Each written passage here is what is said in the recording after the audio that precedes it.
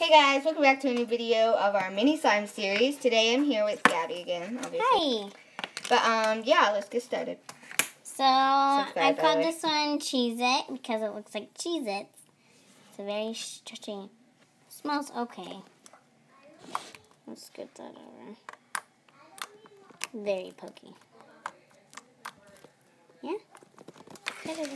Get it in. Okay, so I have mm, I have this slime called Pearl. That's what I called it because it's got this pearly, eggy effect.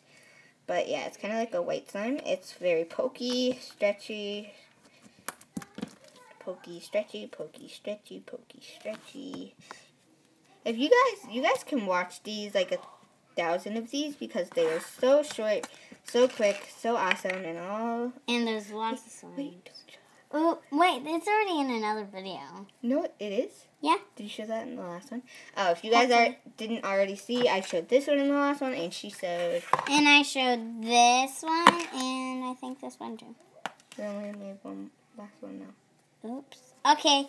Well, subscribe down below. Yeah. Comment, yay! like, hit the bell icon. Peace. Peace, bro. Mine was bad.